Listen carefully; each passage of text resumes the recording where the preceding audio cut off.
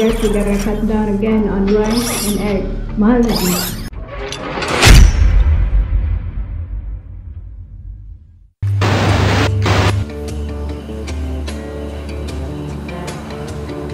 Cut down on what? We've been cutting down on everything, even the air. What else is there? This dog is cutting down on everything. He ain't moving. He probably dead. Nope, not dead yet, but he ain't moving. So he's cutting down. And you want me to cut down more? You saying we ain't cutting down enough? Them kids don't even move. They're cutting down on reactions. This one doesn't look like it's breathing. This one doesn't know if it's alive. So we still cutting down more? We've been smelling this can without even opening it. Just pairing it up with those fake rice and serving us, and they still want us to cut down? Not sure what they want. How about I cut off my arm and sell it on eBay? Probably could get some more cans for this. More sniffs for us. Right, Pooch? He's still dead.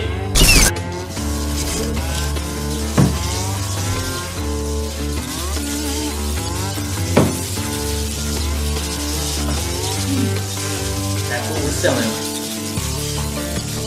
Probably two cans of sniffs. Two cans. What are we selling next?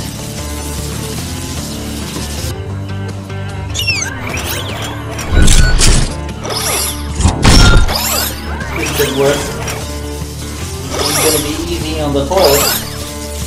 But this could work.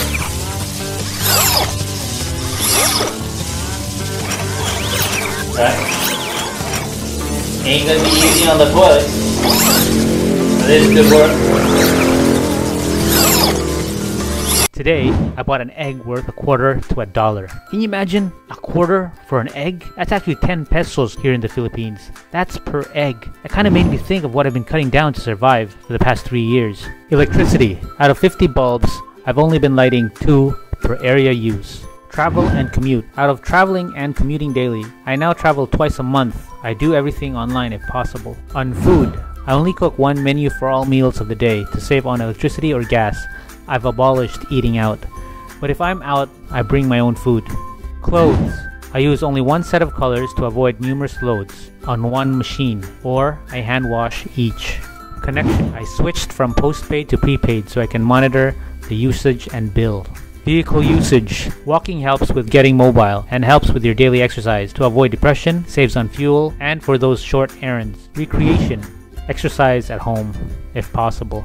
Home entertainment. We resort to books. It has no energy consumption if you read during the day. So that was my list of cutting down for the past three years during this pandemic. So stop imagining food or looking at food to avoid unwanted cravings. And here is our way of virtually extending the experience of having toys, especially nowadays. If you find this list helpful, feel free to send us a message.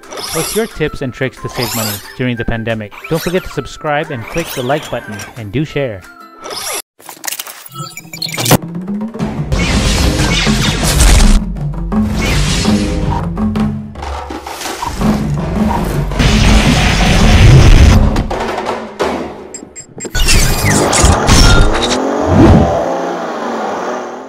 Venusaur.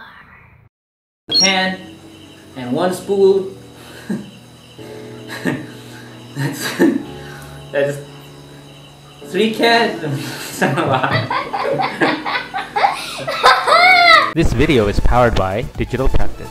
We've had these toys for the past 15 to 40 years because we have a place to put them. We save them for the next generation.